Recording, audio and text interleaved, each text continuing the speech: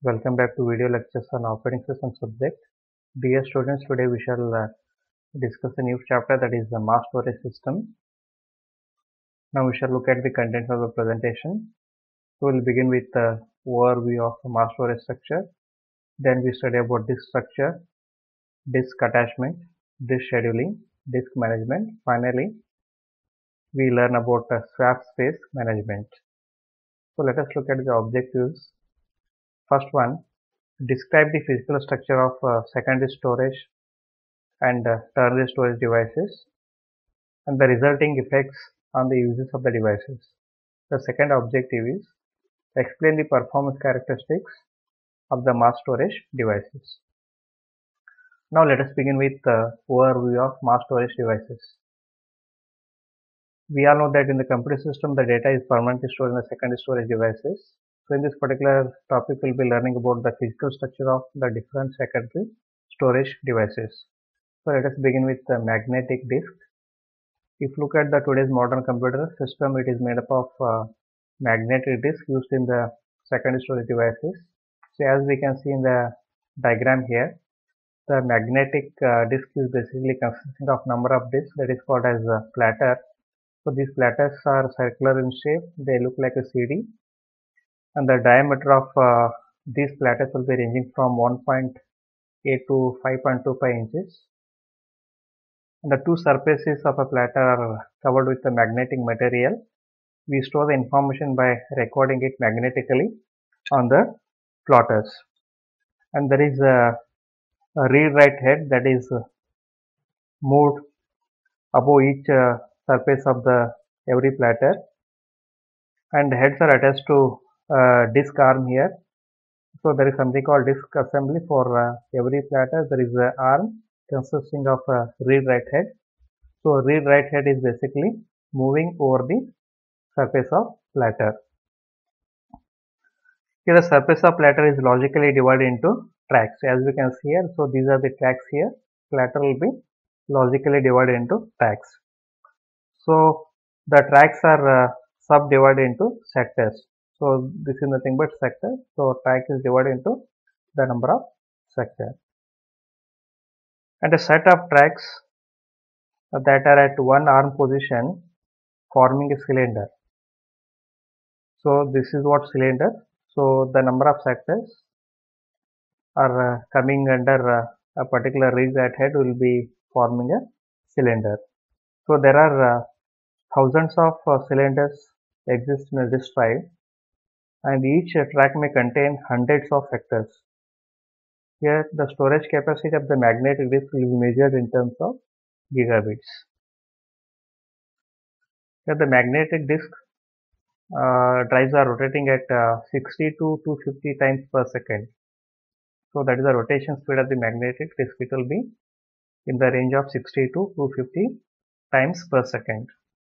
So there are some parameters with respect to magnetic disk that we need to understand. First one is the transfer rate. So it is basically the rate at which the data transfers between drive and the computer. Basically, uh, a disk drive will be attached to the computer with help of some uh, I/O bus, and the data will be transferred between magnetic disk and the computer system, and the transfer rate is measured like uh, the, the, the rate at which uh, the, the data flow between drive and the computer system. The next parameter is positioning time that is also called as random access time within the disk is the time to move the disk arm to the desired cylinder. It is also called as seek time. It means the time required to access data from the disk that is called as seek time. And the time for desired sector to rotate under the disk head it is called as rotational latency. So there is something called a head crash. So let us understand what is head crash. Head crash is basically making uh, contact of the um, read-write head on the disk. So due to head crash, a disk may be permanently damaged. One thing we have to remember, disk cannot be repaired. Only ways we, we can replace them. It means the disk can be removable if they are damaged due to head crash, but they cannot they cannot be repaired.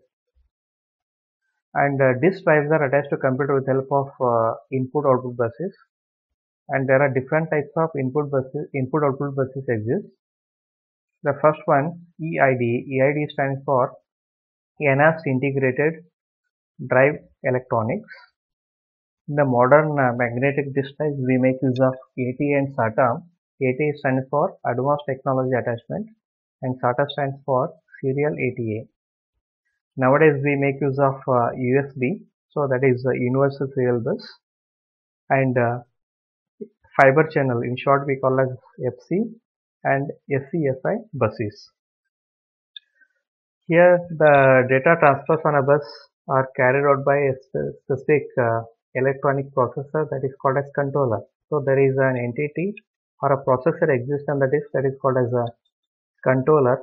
So controller is basically uh, taking care of uh, the data transfer over the buses. So there are two types of controllers we can find here. First one is a host controller so before that, one is one thing we need to understand.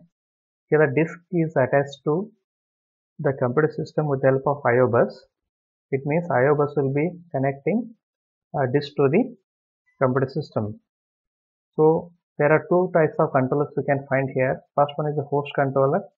Is a controller that is exist at the computer end of the bus, and another controller is this controller. It is exist at the other end, which is attached to the disk drive. Here host controller in the computer uses bus to transfer data to a disk controller which is built into the disk drive or storage. Uh, as we know that the diameter of the platters will be ranging from uh, 0.85 inches to 14 inches but commonly uh, platters uh, having the diameter of 3.5 inches, 2.5 inches and 1.8 inches. And the capacity of the magnetic disk will be ranging from uh, 30 GB to 3 TB per disk drive. And when we consider the performance the transfer rate uh, theoretically it will be 6 gigabit per second that is called as 6 Gbps. But in real time the effective transfer rate will be 1 Gbps. Seek time will be ranging from uh, 3 milliseconds to 12 milliseconds. So that is the amount of time required to access a data flow data block from the disk will be ranging from 3 milliseconds to 12 milliseconds. And for uh, disk drives it will be 9 milliseconds. And the average seek time can be calculated based on uh, one third of tracks and latency will be based on uh, spindle speed so that is uh, 1 divided by rpm into 60 rpm is uh, basically number of rotations uh, per minute that is how we measure the spindle speed and the average latency will be half of the total latency. So there is a table given here. In this table, we'll find the spindle speed, which is given in terms of RPM, that is the number of rotations per minute. So that is nothing but spindle speed. And in the second column, we'll find the corresponding average latency, which is given in milliseconds. For example, for the spindle speed of 4200 RPM, the average latency is given as 7.14 and for uh, uh, spindle speed of 7200 rpm the corresponding average latency will be 4 4.17 milliseconds so as we can observe here uh, when we increase the speed of uh, spindle and the average latency is gone decreasing.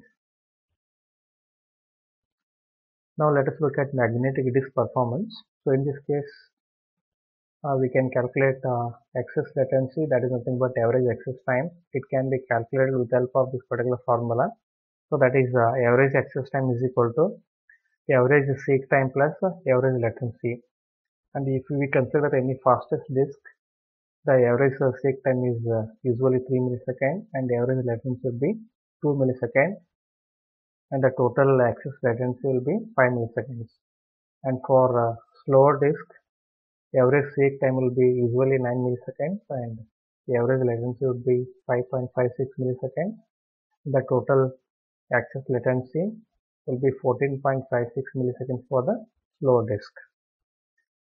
And the average I.O. time can be calculated by this particular formula that is the average I.O. time is equal to average access time plus amount of data I want to transfer uh, divided by transfer rate plus control overhead. For example, to transfer 4 kilobytes of uh, data block on 7200 RPM disk with 5 milliseconds average seek time, the data transfer rate is given as 1 gigabit per second with uh, 0.1 millisecond controller overhead. So let us calculate average IO time that is equal to average access time. In this example, average access time is given as 5 milliseconds and for uh, 7200 rpm uh, what, what is the average latency so we can get this value from the table which uh, we already discussed for the spindle speed of 7200 rpm the average latency in milliseconds is given as 4.17 so that can be added to 5 milliseconds. It will become 9.27 milliseconds. Then uh, basically in this example we'll, we are transferring uh, 4 kilobytes of data blocks at the rate of 1 GB per second. So we need to calculate uh, the, uh, the time required to transfer 4 kilobytes of uh, data at the rate of 1 GB per second uh, which is added with control overhead it is given as 0.1 milliseconds so total we get it as 0.12 milliseconds which is added with 9.27 milliseconds. So average IO time will get in this example is 9.39 milliseconds. Now let us move on to the next uh, uh, disk that is magnetic tape. So magnetic tapes are uh, older as compared to magnetic disk. So magnetic tapes basically storing the data permanently. They hold a large amount of data as compared to magnetic disk but uh, their access time is uh, very slow if you compare them with the, the disk. The random access time is uh, 1000 times slower than disk and mainly they are used for backup purpose so whenever you want to store the data as a backup we make use of magnetic tape where data is not used frequently. And the data transfer rate is uh, 140 MB per second. It is uh, very slow or very less as compared to disk here. The size of magnet tape will be ranging from 200 gigabytes to 1.5 terabytes. Now let us look at uh, disk structure basically disk drives are addressed as a, large one-dimensional array of logical blocks where the logical block is the smallest unit of transfer.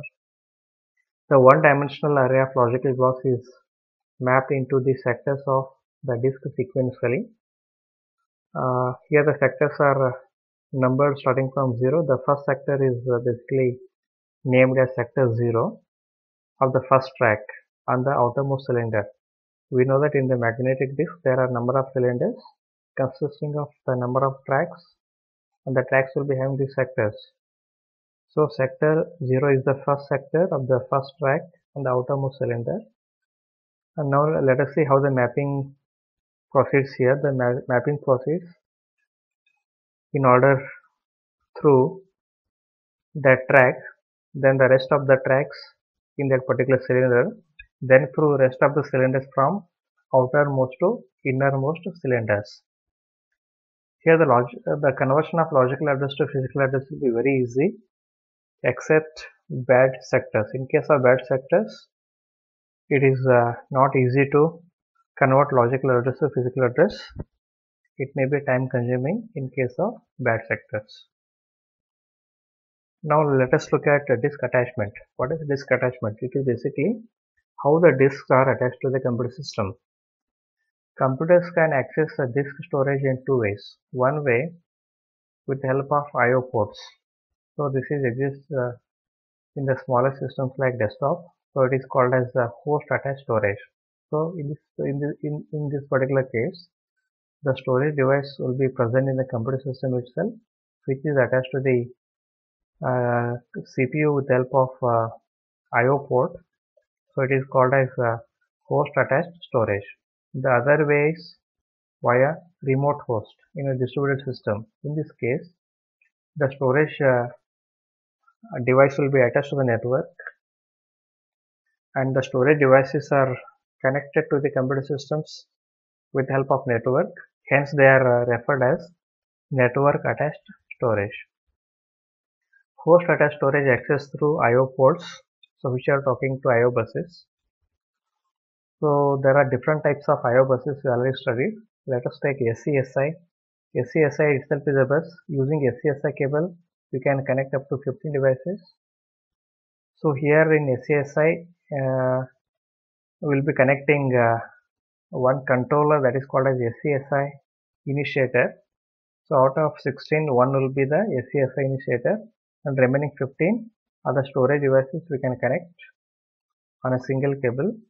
So they are called as SCSI targets and each target SCSI target can have up to 8 logical units. Next one FC that is uh, fiber channel. It's a high speed serial architecture uh, that can operate over optical fiber or over 4 conductor copper cable. It can be switched fabric with the 24 bit address now let us look at the storage array. Suppose that you want to get the larger storage capacity, then what we can do is we can uh, have the array of uh, storage disk. That is the number of disks are interconnected in the form of array. That is called a storage array. The purpose of having storage storage array is to get a large amount of uh, storage capacity. A storage array has a controller and which is providing uh, some features to the host that is attached to the storage the ports uh, used to connect host to the storage array and there, there will be some controlling software which is present in uh, NVRAM. So there will be few thousands of this present here and whatever the storage we are having it will be shared by uh, the different processes in the system and hence it is more efficient. Now let us move on to the network attached storage. The network attached storage device is a special purpose storage system that is accessed remotely over the data network as shown in the figure. Here the clients accesses network attached storage with the help of a remote procedure call interface such as NFS for Unix system or CIFS for Windows machines. The remote procedure calls are carried out via TCP or UDP over IP network. Usually, the same local area network that carries all data traffic to the clients. Here I see CSI is the latest network attached storage protocol that carry out uh, the data transfer between the client and the network storage. Now we shall look at uh, storage area network. So before we study about the storage area network, uh, need to understand what is the drawback of uh, network attached storage. So one drawback of network attached storage system is that uh, the storage I/O operations consume bandwidth from the data network, thereby increasing latency of network communication. So this particular problem can be solved with the help of storage area network. Let us understand what is storage area network. The storage area network, in short, it is called as SAN, is a private network connecting servers and storage units as shown in the figure. Here it will make use of uh, storage protocols instead of network protocols. The storage area network is uh, more flexible and here multiple hosts that is the computer systems and multiple storage areas can attach to the same storage area network and the storage can be dynamically allocated to hosts. Uh, here uh, SAN make it possible for uh, clusters of servers to share the same storage and for storage arrays to include multiple direct host connections.